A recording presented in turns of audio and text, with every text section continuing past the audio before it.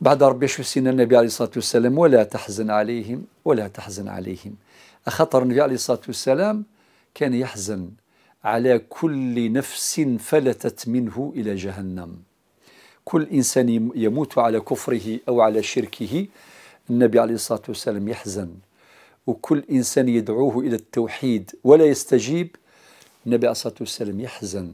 لأنه نبي مرسل يحبنا يحب الناس جميعا وما أرسلناك إلا رحمة للعالمين.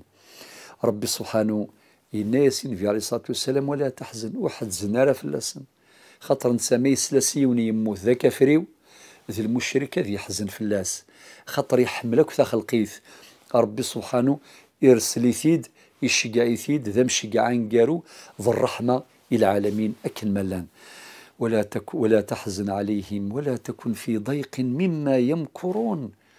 بلا شك هذه هذه المواقف مواقف الكفار مواقف المشركين تسبب حرجا وضيقا للنبي صلى الله عليه وسلم. وهم يتمادون في كفرهم وشركهم ومكرهم. يمكرون. مع ذلك يمكرون يؤذون ويفعلون ما يفعلون.